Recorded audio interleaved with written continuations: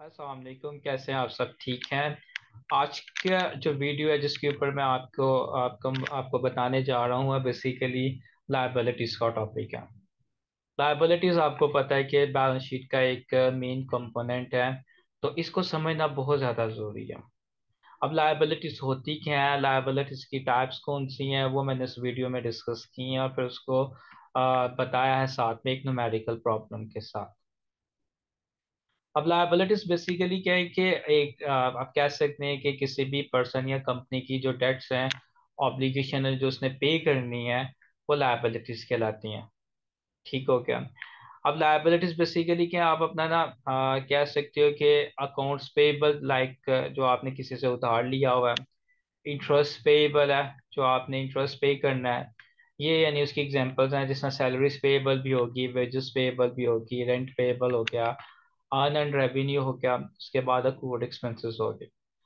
ये, इसके अलावा मैंने यहाँ पे इसकी डेफिनेशन भी लिखी हुई है liability something a person a company whose usually liability settle over time through the through the transfer of economic benefits including money goods and services अब लाइबिलिटीज की जो टाइप्स हैं मेन जो टाइप्स हैं, उसमें सबसे पहले आती है करंट लाइबिलिटीज अब करंट लाइबिलिटीज वो होती हैं जो आपने within a one year जो है ना पे करना होता है जिनको। यानी किसी भी ऑर्गेनाइजेशन की, आप कह सकते हैं कि शॉर्ट टर्म फाइनेंशियल ऑब्लिगेशन हैं किसी भी पर्सन की। अब ये होती कौन सी हैं? लाइक अकाउंट्स पेबल हैं इंटरेस्ट पेबल हैं, आपकी सैलरीज पेबल हैं वेजेस पेबल हैं रेंट पेबल है अर्न एंड रेवेन्यू है और अक्रूड एक्सपेंसेस हैं। इसके अलावा भी हो सकती है। मैंने जैसे एग्ज़ाम्पल के तौर पर कुछ का नाम लिया। अब लॉन्ग टर्म लाइबिलिटीज जिनको नॉन करंट लाइबिलिटीज भी कहते हैं फिक्स लाइबिलिटीज भी कहते हैं, जिनका जो टाइम पीरियड है ना पे करने का, आपकी यानी ऑब्लिगेशन का बियॉन्ड वन ईयर होता है। यानी करंट लाइबिलिटीज वो होती हैं जिनको आपने विद इन वन ईयर पे करना होता है लॉन्ग टर्म लाइबिलिटीज वो होती हैं जिनको आपने एक साल से ज़्यादा टाइम पीरियड के बाद आपने पे करना होता है, यानी एक साल के बाद। अब इसकी एग्जांपल्स है लाइक बॉन्ड्स पेबल है मॉर्गेज पेबल है। उसके बाद थर्ड टाइप है कॉन्टीजेंट लाइबिलिटीज की। अब कॉन्टीजेंट लाइबिलिटीज बेसिकली वो होती हैं जो आप कह सकते हैं कि फ्यूचर का इवेंट है। अब कॉन्टीजेंट लाइबिलिटीज को हम बैलेंस शीट में रिकॉर्ड नहीं करते करंट और लॉन्ग टर्म लाइबिलिटीज को रिकॉर्ड करते हैं, इसको नहीं। इसको रिकॉर्ड ना करने की वजह यह है कि जैसे मैं आपको एग्जांपल देता हूँ कि आप ना आ, मैंने जो न्यूमेरिकल एग्जांपल ली है ना उसकी मैं एग्जांपल यहाँ पे शामिल करता हूँ। जस्ट लाइक आप ना पम्प का आपका बिज़नेस है। अब आप जो पम्प मैन्युफैक्चर करने लगे हो या बनाने लगे हो उसका बहुत ज़्यादा श्योर होता है। अब वो कोई पर्सन है पास वो आपके अगेंस्ट लॉ सूट फ़ाइल कर देता है कि बहुत ज़्यादा नॉइजी है तो इसके अगेंस्ट में आ, हम डिस्टर्ब होते हैं इसकी वजह से। तो अब आपको पता है कि आपके अगेंस्ट में एक लॉ सूट आ गया है। अब वो हो सकता है आप इसमें गिल्टी भी हो, लेकिन वो गिल्टी अभी डिसीज़न आपके अगेंस्ट में नहीं आया। तो जब डिसीज़न आएगा, तब आप इसको रिकॉर्ड करोगे। अभी फ़िलहाल डिसीज़न नहीं आया आपके अगेंस्ट जैसे एक लॉ सूट फ़ाइल किया गया हुआ है। एक फ्यूचर का इवेंट है तो इस वजह से हम इसको अपनी बैलेंस शीट में रिकॉर्ड नहीं करते, बल्कि एक फुट नोट बना के बस शो करते हैं इस कॉन्टीजेंट लाइबिलिटीज को। मुझे उम्मीद है आपको लाइबिलिटीज और उसकी तीनों टाइप्स की काफ़ी हद तक समझ आई होगी। तो अब मैं आपको ना इन्हीं को, इन्हीं टाइप्स को ना एक न्यूमेरिकल प्रॉब्लम है उसके थ्रू समझाने की कोशिश भी करता हूँ यहाँ पे। अब आपके सामने एक ये न्यूमेरिकल क्वेश्चन है जिसमें मैंने यहाँ पे हाँ आपको इन तीनों लाइबिलिटीज के मतलब बताऊँगा।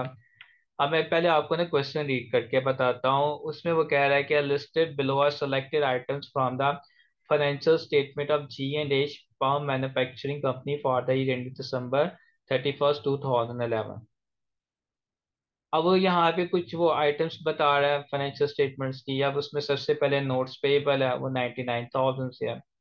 इनकम टैक्स पेबल है सिक्सटी थ्री थाउज़ेंड से है। Loss contingency relating to lawsuit है टू लैख से है। Accounts payable and accrued expenses हैं one lakh sixty three thousand two thirty से हैं। मॉर्गेज नोट पेबल है two forty eight sixty four से हैं बॉन्ड्स पेबल है बाईस लाख से हैं premium on bonds payable one four zero six से अक्रूड बॉन्ड इंटरेस्ट पेबल है एक लाख दस हज़ार से पेंशन एक्सपेंस है sixty one thousand four hundred से अर्न एंड रेवेन्यू है twenty five thousand three hundred से अब इसमें कुछ करंट लाइबिलिटीज़ हैं, कुछ लॉन्ग टर्म लाइबिलिटीज़ और कॉन्टीजेंट लाइबिलिटीज़ हैं। अब वो मैं आपको बताता हूँ, लेकिन उसको बताने से पहले कुछ इन्फॉर्मेशन उसने नीचे बताई हुई है, यानी जिसने चार पॉइंट्स बना, बनाए हुए हैं। अब मैं इन पॉइंट्स को ना वन बाई वन पढ़ता हूँ, यानी फ़र्स्ट पॉइंट उसने बताया हुआ नोट्स पेबल के मतलब। अब वो कह रहे हैं कि the notes payable on to Port Villa bank is due in thirty days G and H has arrange with this bank to renew the note for an additional two years यानी note payable आपकी ना यहाँ पे वो कह रहा था current liability है, जिसको आपने विद इन थर्टी डेज़ पे करना है। लेकिन आपने कोई अरेंजमेंट की है, जिसके बाद आपने इसको रिन्यू किया और रिन्यू करने के बाद आप इसकी जो पेमेंट का टाइम पीरियड है ना, वो दो साल मजीद आपने बढ़ा दिया इसका मतलब हमने ऊपर पढ़ा हुआ है कि लॉन्ग टर्म लाइबिलिटीज वो होती हैं जिनका time period beyond one year हो। तो ये तो अब दो साल हो गया इसका मतलब है कि हम नोट पेबल आपकी करंट लाइबिलिटी नहीं रही, बल्कि आपकी क्या बन गई है?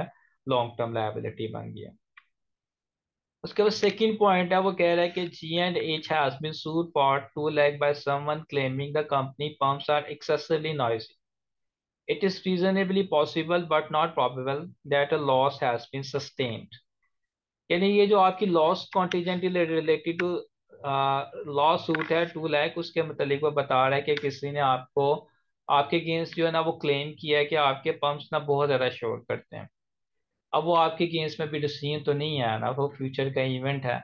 इसका मतलब है कि हम इसको बैलेंस शीट में शामिल नहीं करेंगे क्योंकि अभी इसके अगेंस्ट में डिसीज़न नहीं हुआ।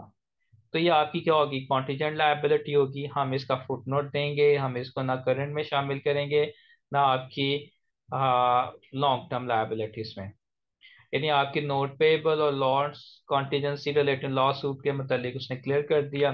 अब थर्ड पॉइंट है आपका मॉर्टगेज नोट पेबल के मतलब अब वो कह रहे थे the mortgage note is payable at eight thousand per month over the next three years यानी आप जो उसकी इंस्टॉलमेंट में आप उसको पे कर रहे हैं वो आप आठ हज़ार है monthly During the next 12 months, the principal amount of this note will be reduced to one lakh sixty nine thousand nine nine four है।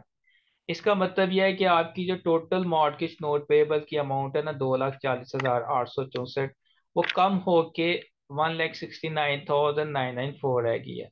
यानी आपने अगले बारह महीनों में जो आपने पेमेंट की है ना, वो इन दोनों अमाउंट का डिफरेंस निकालेंगे तो वो आपने अगले बारह महीनों में पे करना है। इसका मतलब है कि जो इन दोनों अमाउंट का डिफरेंस है, वो आपकी क्या होगी? करंट लाइबिलिटी होगी। और जो रिमेनिंग बैलेंस रह गया होगा, जिसको आपने अगले एक साल के बाद पे करना है, वो आपका पोर्शन है one six nine nine four का, वो आपकी लॉन्ग टर्म लाइबिलिटी में जाएगा। यानी जो टोटल अमाउंट है दो लाख चालीस हज़ार आठ सौ चौसठ की, उसको हमने दो हिस्सों में डिवाइड कर देना है यानी एक आपका करंट पोर्शन है और दूसरा आपका लॉन्ग टर्म पोर्शन है ये वाला पॉइंट फोर वाला पॉइंट है वो बॉन्ड्स पेबल के मुतालिक बता रहा है जो बाईस लाख है The bonds payable mature is seven month. A sinking fund has been accumulated to repay the full maturity of this bond. अब वो सिंकिंग फंड का यहाँ पे ज़िक्र कर रहा है सिंकिंग फंड क्या होता है वो मैं आपको बता देता हूँ कि ऑर्गेनाइजेशन एक फंड बनाती हैं जिसके थ्रू वो अपनी जो लॉन्ग टर्म लाइबिलिटीज होती हैं ना उनको वो क्या करती हैं रीपे करती हैं।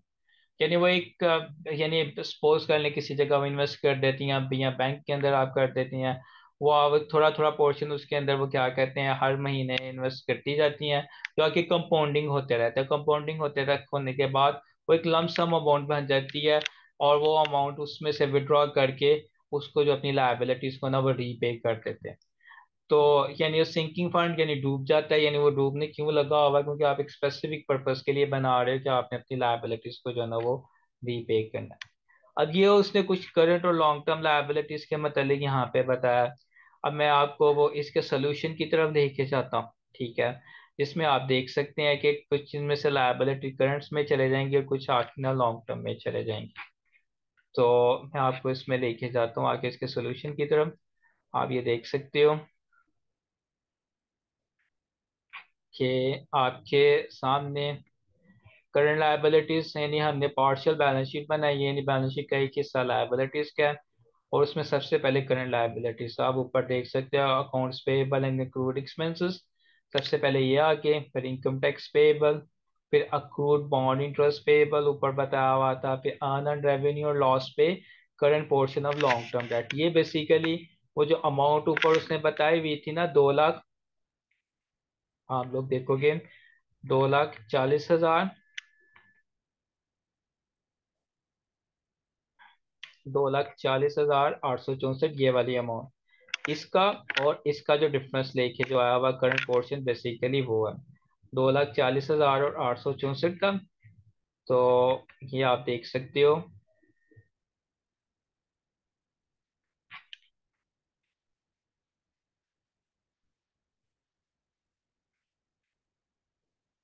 यानी दो लाख दो लाख चालीस हज़ार और आठ सौ चौसठ माइनस ये वाली जो अमाउंट है। क्या आप करोगे तो आपके पास करंट पोर्शन आ जाएगा और ये आपके पास लॉन्ग टर्म पोर्शन आ जाएगा। उसके बाद नोट्स पेबल टू आप पोर्ट विला बैंक है। वो करंट की बजाय उसके, उसने टाइम पीरियड को दो साल एक्सटेंड कर दिया तो ये आपका क्या बन गया? लॉन्ग टर्म लाइबिलिटी बन गया। मॉडगेज नोट पेबल को मैं आपको पहले बता चुका हूँ। बॉन्ड्स पेबल बाईस लाख आपकी लॉन्ग टर्म लाइबिलिटी या प्रीमियम आपका गिवन था, उसके अंदर ऐड कर दिया तो आपके पास टोटल लॉन्ग टर्म लाइबिलिटीज आ गई ठीक हो क्या और ये टोटल करंट लाइबिलिटीज और इन दोनों को प्लस किया तो टोटल लाइबिलिटीज आ गई यानी आपके क्वेश्चन में कुछ लाइबिलिटीज बताई हुई थी जिसमें करंट भी थी लॉन्ग टर्म भी थी और कॉन्टीजेंट लाइबिलिटी भी थी। अब वो सारी की सारी यहाँ पे हमने डिवाइड कर दी।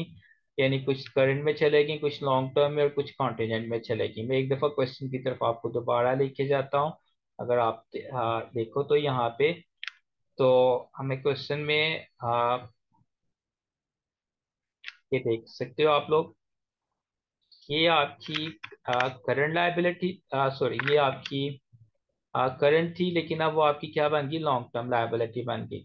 ठीक है, मैं आपको ना स्पेसिफिक कर देता हूँ income tax payable current liability ठीक है, ये आपकी, उसके बाद अकाउंट्स पेबल ये भी करंट लाइबिलिटी उसके बाद बॉन्ड इंटरेस्ट पेबल ये करंट लाइबिलिटी उसके बाद अन एंड रेवेन्यू ये आपकी करंट लाइबिलिटी और मॉर्गेज नोट पेबल इसमें से कुछ पोर्शन करंट है और कुछ आपका लॉन्ग टर्म है। अब मैं आपको लॉन्ग टर्म लाइबिलिटीज का बता देता हूँ।